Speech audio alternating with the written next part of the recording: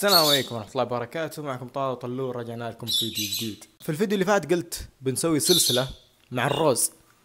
بنجيب له أنثى ونقعد معهم خطوة بخطوة لين ينزلون أول بيضة. عندي أنثى من أول بس يعني ما قد أنتجت. قد أنتجت كذا من غير ذكر. عرفت أنها جاهزة للإنتاج. أول أول شيء كيف تعرف أن الأنثى جاهزة للإنتاج؟ الأنثى بعد عمر سنة تنزل بيض من غير أي ذكر. أول خطوة تسويها الأنثى إنك ت- توريك إنها جاهزة للإنتاج. وتشوفها الشيء الثاني تشوفها تجهز عش. آه، تج- تجهز الح... لو عندها بياضة بتشوفها تقعد في البياضة كثير وتجهز البياضة للإنتاج. وهذه هذه الطرق اللي تخليك تعرف إن الأنثى جاهزة للإنتاج. الأنثى وكيف وكيف الطريقة اللي ندخل الأنثى على الذكر من غير ما يتضاربون من غير ما يتقاتلون. أو بعض الأحيان ما يعني ما ما يتضاربون. وبعض الأحيان يتضاربون. هذول اللي عندي تضاربوا. وقد جبت له أنثى قبل ثلاث سنين أو سنتين على طول عاشوا مع بعض من غير اي مضاربة ومن غير ما أخليهم مدة جنب بعض. على طول حطيتها وعاش. بس دول شوية فيهم عباطة وتضاربوا. والحين لهم 24 ساعة كل واحد في قفص وقدام بعض. والحين بندخلهم مع بعض بندخلهم آه، في نفس القفص معكم ونشوف الطريقة خطوة بخطوة. يلا خليكم معي. آه ولا تنسون اللايك والاشتراك و... يعني أعطوني تحفيز عشان ندعس في السلسلة هذه. إذا شفنا فيها تفاعل بإذن الله نستمر. ما فيها تفاعل نشوف سلسلة غيرها. ولا تنسون اللايك والاشتراك. شارك المقطع مع واحد تبغاه يشوف هذا الفيديو. وسنابي والمتجر في الوصف تحت. ويلا خليكم الحين مع الفيديو. طبعا جبنا ذا. تذكرت إن عندي آه أنثى. وهذه قد باضت طبعا تذكرت هذه قلت ليش أروح أشتري؟ وأنا عندي أنثى. هذه الأنثى كانت عند عمتي وما شاء الله قاعدة تبيض من غير أي ذكر. هذه أول علامة وأقوى علامة إنك تعرف إن الروز أنثى إنها تبيض من غير أي ذكر. وهذه الحركة آه إنها تبيض من غير ذكر ما تسويها إلا إذا عدى عمرها سنة. اي طبعا هذول هم جنب بعض. هذه بطلعها الحين. بشوف ردة فعلها. أصبر يا شيخ نقفل الباب. نطلعها نشوف ردة الفعل. راحت له.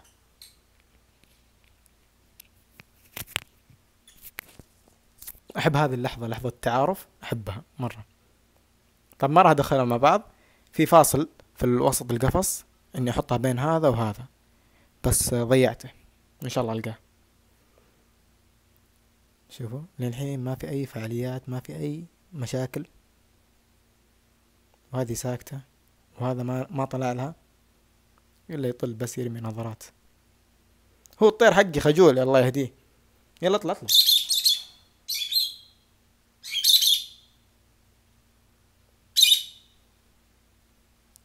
لو انتجوا لو انتجوا أصفر وأزرق وش بيطلعون؟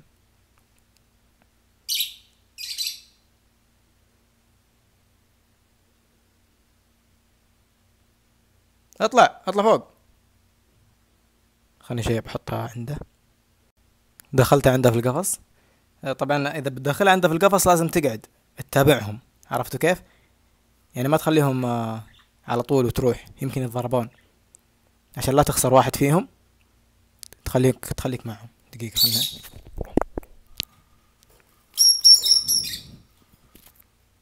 أبغى يروح لها.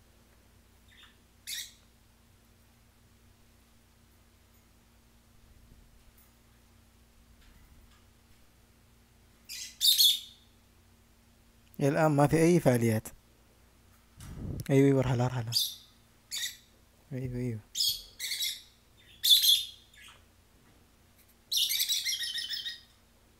شوف كيف صوت صوت الأنثى. شوف بغي يأكلها.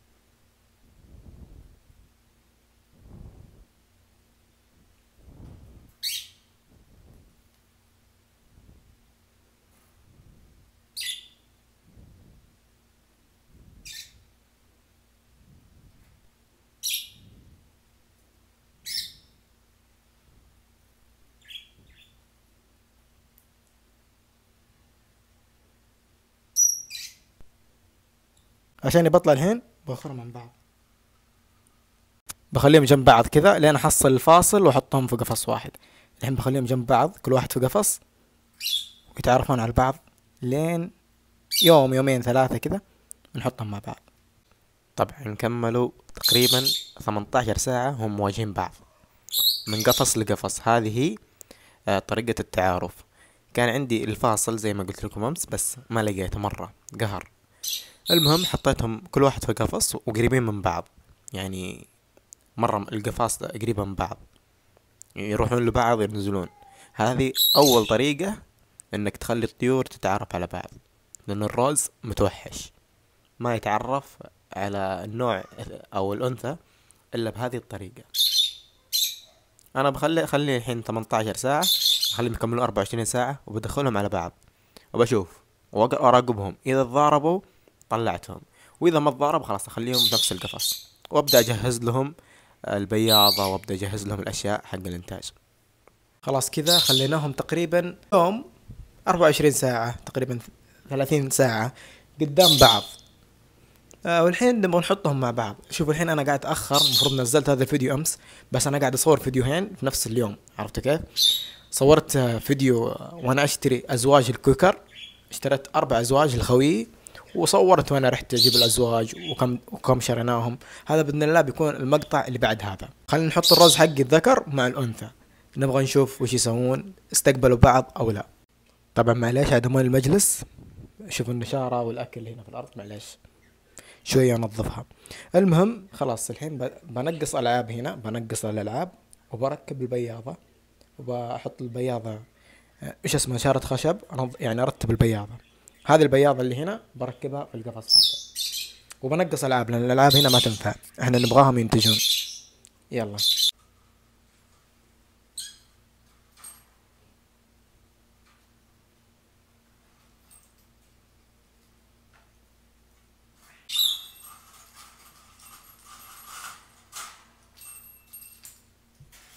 السلم اللي فكيته شكلي بحطه للباقي.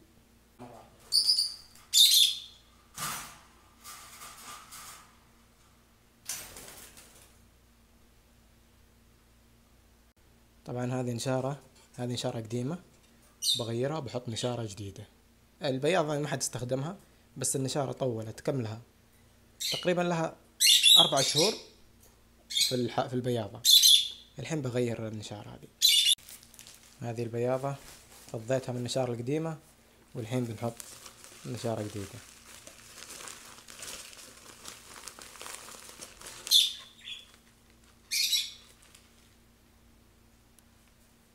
دور أن نوزع النشارة.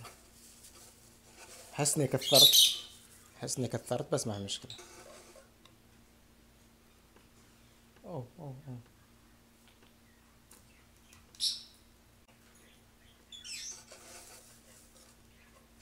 خلاص. الحين نركبها في القفص ذاك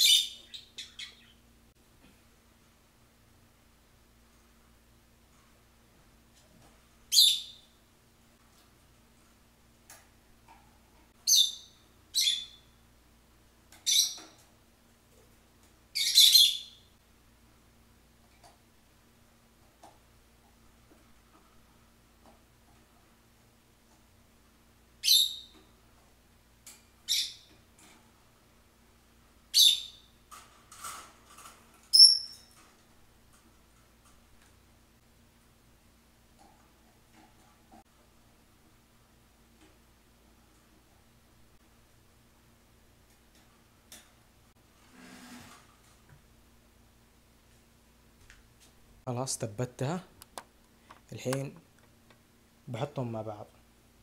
وبنشوف. في شيء ناقصة؟ خلنا أوريكم الشيء اللي ناقص هنا. اللي ناقص هنا خشبة. خشبة تكون عريضة من هنا لهنا في الوسط. لأن في وقت التزاوج لازم يكون في خشبة يوقفون عليها. هذه الخشبة ما تنفع. هذه صغيرة مرة. لازم خشبة تكون عريضة. يلا الحين بحط الطيور مع بعض خلنا نشوف ردة فعلهم. يلا الحين بنحطهم مع بعض ونشوف ردة فعلهم. يلا.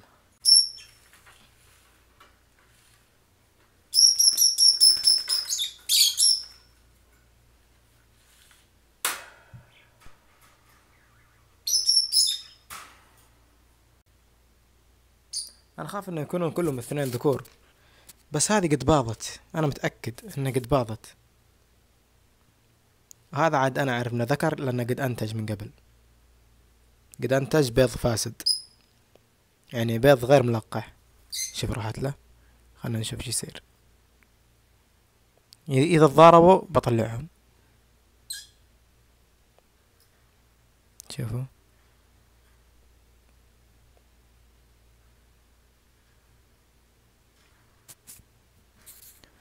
طبعا الروز عبيد ضاربوا. خليهم. ما بينهم حب. شكله ذكر. والله إني شاك فيه.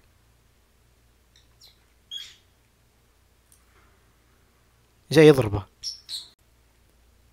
خليناهم يوم كامل جنب بعض وتضاربوا. يعني يا هذا يا هذا ذكر أو إنهم باقي ما ما تعرفوا على بعض. بس آه، شكلي بغير ذا الأصفر. بشوف واحد ثاني.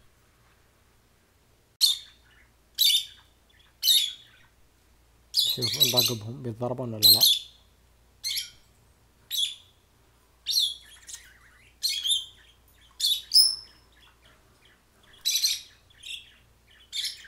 إيه، الحين أمورهم طيبة يعني.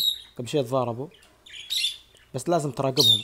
في بداياتهم مع بعض لازم تراقبهم. إذا شفتهم يأكلون بعض ولا يتضاربون يجلسون يعني مدة مدة طويلة هم جنب بعض ولا يتضاربون. يعني خلاص صاروا أليفين على بعض. شوفوا أنا أخاف لا يضربه. يعني ها. طبعا كلهم أليفين. هذول الاثنين أليفين. تلاحظون يقربون مني حتى عادي ما في مشكلة.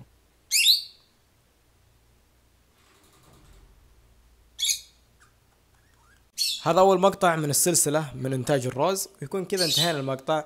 المقطع الجاي بإذن الله نحط لهم المكان المناسب نحط لهم الخشبة اللي في الوسط اللي قلت لكم حق الإنتاج ونحط لهم ونحطهم في محل مرتفع عشان ينتجون. آه بإذن الله هذا بيكون في المقطع الجاي من هذه السلسلة. السلسلة إنتاج الروز طبعا الحين أشوف اللي أشوفه عندي الحين يتعرف على البياضة يدخلون البياضة. يعني ها أول مقطع وركبنا الزوج. جلسوا يوم وكم ساعة قدام بعض في الأقفاص لين تعرفوا على بعض. فبس لهنا يكون انتهى الفيديو. وخلني أكمل الفيديو الثاني حق آه، أزواج الكويكر. اشترينا أزواج الكويكر. اللي واحد من العيال وصى معي أزواج الكويكر. وفي المقطع الجاي بنقول أسعارهم وبنقول كل شيء عنهم. ويلا خليكم ونشوفكم بإذن الله في المقطع الجاي. لا تنسون اللايك والاشتراك وزيارة المتجر وال Snap في صندوق الوصف. والسلام عليكم.